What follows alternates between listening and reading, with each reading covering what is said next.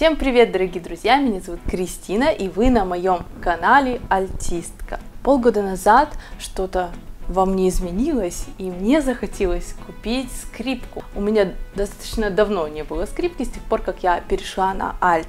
И сегодня, собственно, об этом и пойдет речь. Я расскажу вам об электро- и акустических инструментах, покажу конкретно свою электроскрипку, расскажу о ее плюсах и минусах и покажу кусочек из своей жизни, там, где я на ней, собственно, и играю. Ну что, поехали! И для начала, что такое альт? Вот он. Выглядит он так же, как скрипка. Не знаю, видно его, кстати, или нет. Главное его отличие от скрипки – это то, что он по тесситуре ниже. То есть, если у скрипки струны ми, ля, ре, соль, то у альта ля, ре, соль, до.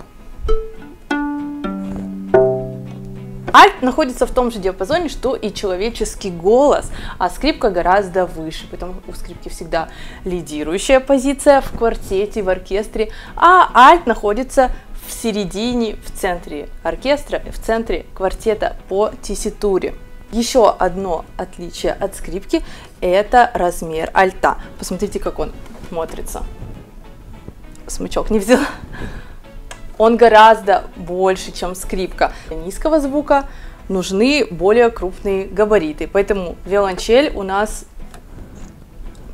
ну, ну вы поняли, виолончель у нас гораздо-гораздо больше, чем альт и скрипка. И также по самому звучанию, по тембру звука скрипка, она более яркая, более искристая, блестящая, это я имею в виду звук, а, не, а не поверхность инструмента. А альт, он более матовый, более приглушенный, он похож на человеческий голос. На этом различия заканчиваются, так как принцип игры на скрипке и на альте, он абсолютно одинаковый.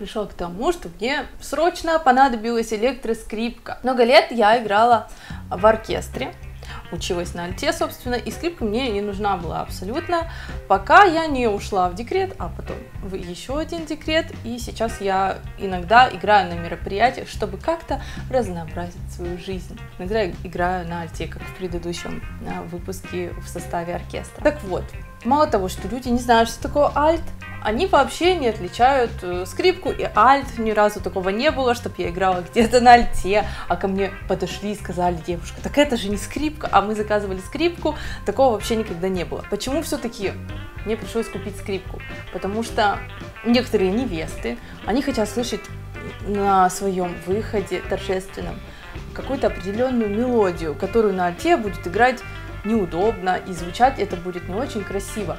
Поэтому я столкнулась с тем, что мне просто необходима скрипка. Тут встает разница двух инструментов. Акустический инструмент или электроинструмент. Конечно, если у вас есть акустическая скрипка, вполне можно купить себе а, аппаратуру и играть на ней.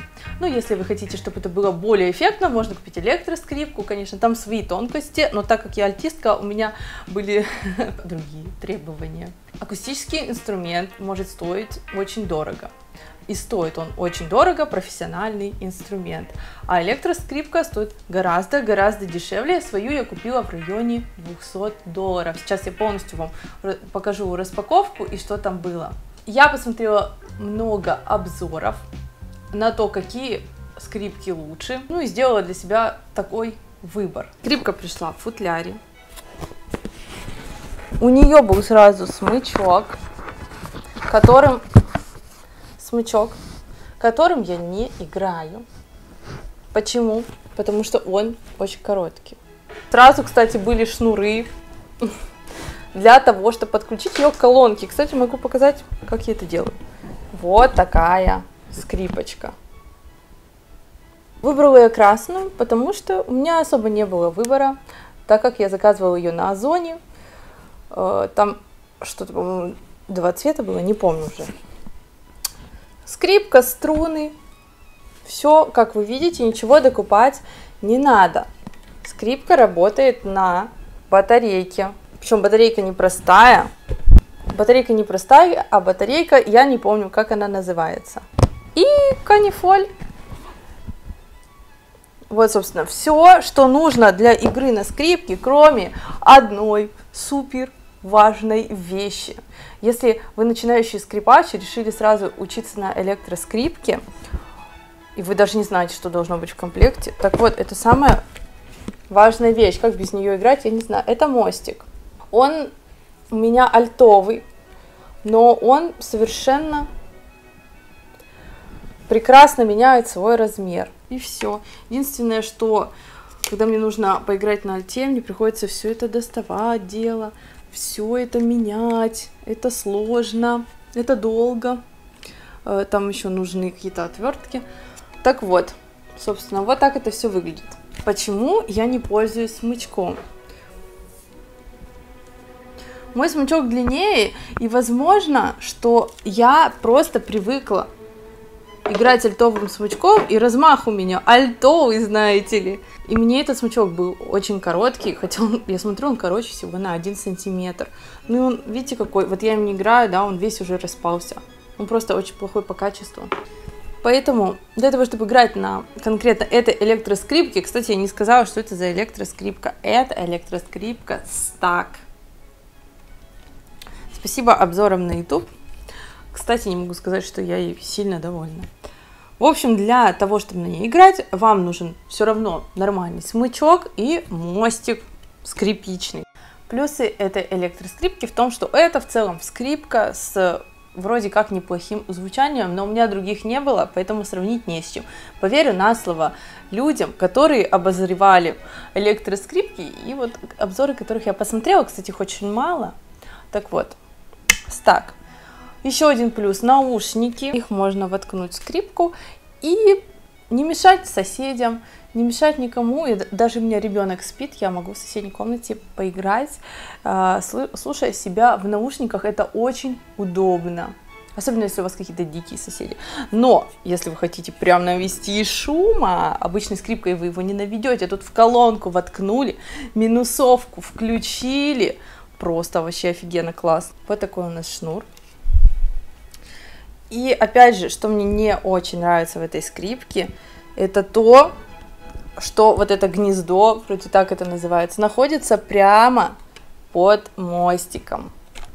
То есть его нужно снять и вставить. До свидания, мостик. И вставить.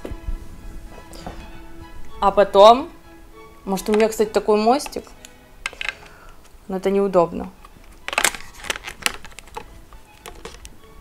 И также здесь есть регулировка громкости.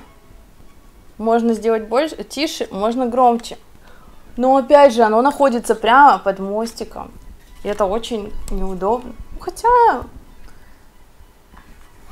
в целом вот так-то нормально. Ну да, что это я возмущаюсь? В целом, так нормально. Кстати, вот смотрите, как смотрится скрипка. Вот какая вот скрипочка. И какого размера альт. И теперь я попробую ее включить в колонку, а вы посмотрите, как это делается, и дай бог послушаете. Вот такая у меня колонка. Дома она как чемодан большая. И сейчас я покажу, как я подключаю. Маленький проводок джек-джек я уже подключила в это неудобное отверстие. И у нас остался вот такой джек. Надеюсь, я ничего не путаю. Просто открывается вот такое гнездо а, в колонке. Подождите, это оно? Да. И находим гитару и микрофон. Хоп. Хоп.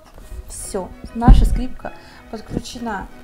Теперь включаем скрипку. Включаем колонку.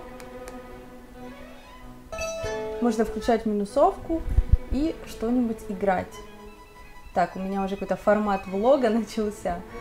А раз такое дело, я тогда уже вставлю кусочки со влога, как она звучит, потому что я не успеваю сейчас поиграть, потому что сейчас придет няня с ребенком, а он не даст нам ничего сыграть.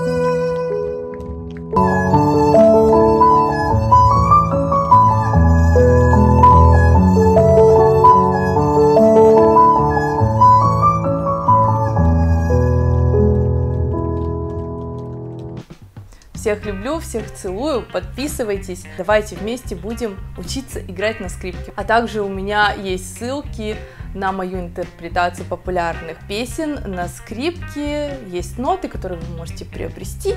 Так что, друзья, переходите, смотрите другие видео. Все, всех целую, всех люблю, пока. Пока-пока.